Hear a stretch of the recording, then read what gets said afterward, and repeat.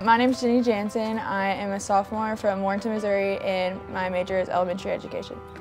Um, I chose SIU because it just felt like home. Um, I came from a small town and I didn't really want something a whole lot different. And as soon as I got here, I knew Kerri and Jen would take care of me.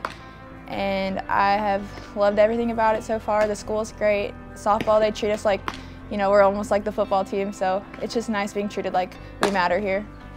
Um, well, I chose elementary education because I had loved elementary school. I had wonderful teachers and they impacted my life so greatly and I really want to do that and I feel like I can make a positive impact on you know kids and hopefully see them succeed in their lives. Um, over the past two years, a lot of times I've been going to the um, animal shelter.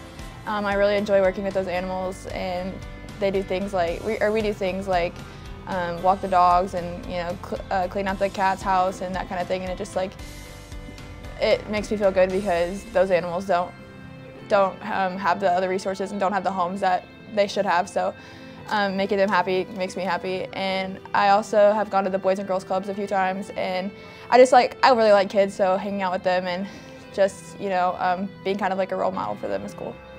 Definitely the animal shelter, like I said, I really do enjoy working with those animals and sometimes I wish I got, would have got into, you know, vet, vet tech or like, you know, veter veterinary medicine, but I don't like blood, so yeah, I just love working with animals and I, it makes my day to go out there.